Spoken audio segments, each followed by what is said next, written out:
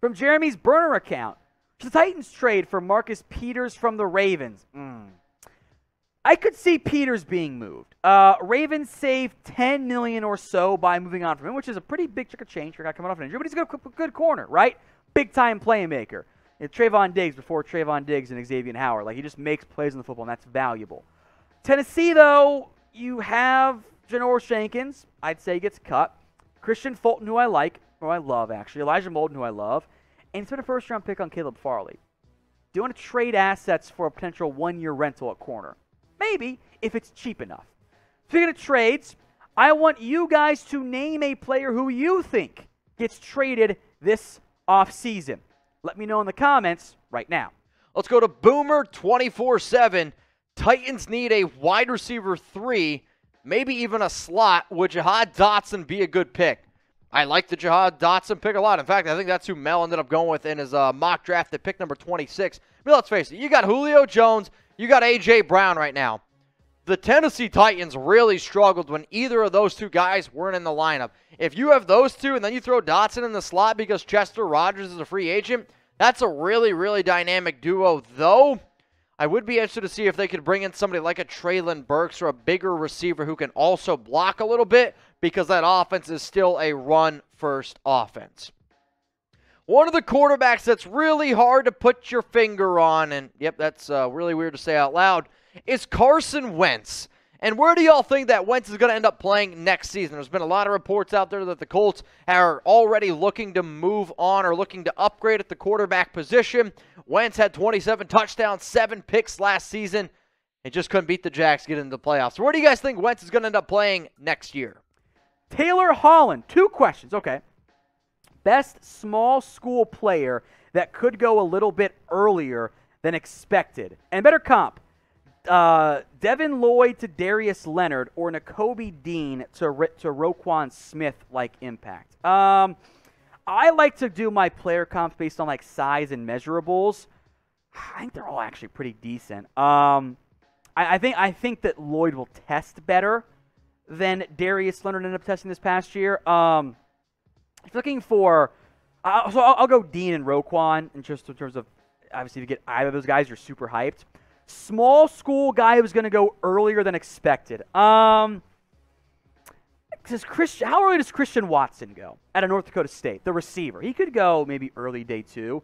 Other very small school guys I could see going early. Um, mm, trying to think of like maybe names we haven't mentioned before at all here on the channel. Um, does does Tyler Allgeier count as a small score? Is BYU probably not? You know? Trevor Penning, we all know he's going to go earlier, so I can't count him from that perspective. But he's a small school, but we're talking earlier than expected. Now, if he goes top 10, I think that'd be earlier. I mentioned Tariq Woolen out of UTSA in my mock draft. I think that's a decent name there. Um, oh, how about Troy Anderson? linebacker from Montana State, impressed very well at the combine or at the Senior Bowl, and I think will measure well at the combine as well. So another quarterback that's got a lot of drama around him, as always, is Baker Mayfield. And is he going to be with the Browns in 2022? Go ahead and type your Y for yes, or you can go ahead and type your N for no. If you want to get a question about Baker Mayfield on the show, the way to do it is use hashtag NFL. Will the Browns have Baker Mayfield? Kind of frame it like that. So Y for yes, N for no. Will Baker Mayfield be with the Browns? So St. Patrick's Day, this might be breaking news to some of y'all. It's March 17th every single year every single year. Harrison Graham. So if you guys want to go ahead and get some awesome St. Patrick's Day gear for your favorite NFL team, go to chatsports.com slash NFL Green.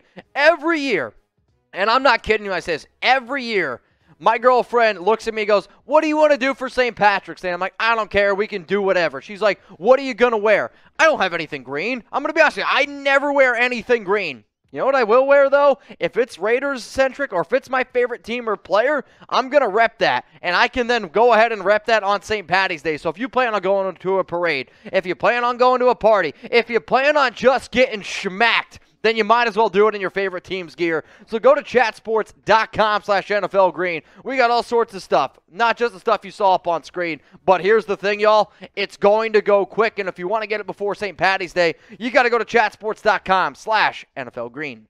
What position is taking the most the first round of the draft? So which position gets taken the most in the first round of the NFL draft. I'll say offensive tackle because I could see five offensive tackles going in the first round. Quarterback's always going to be thrown out there.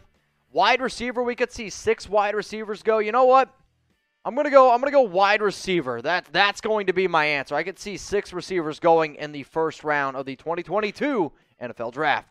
For nonstop coverage of NFL free agency, draft, trades, and more, hit that big red button and subscribe today. It is all free here on Chat Sports, and it always will be. So if you haven't already, subscribe right now.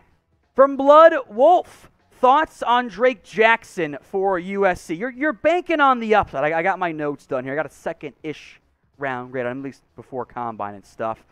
Uh, he cut down his weight, dropped 25 pounds since his freshman year. The production's always been kind of middling as well, but he's got bend and burst. He's young. He only turns 21 in April. There are flashes of those elite traits, but I don't trust him right now uh, uh, against the run, and he's got to add more power. So I think you gamble on that type of player in day two. I would. I hated how much USC dropped him into coverage. That was stupid by the Trojans, but I think there's upside there of a nice round two pick who emerges as a potential really solid edge two in the NFL.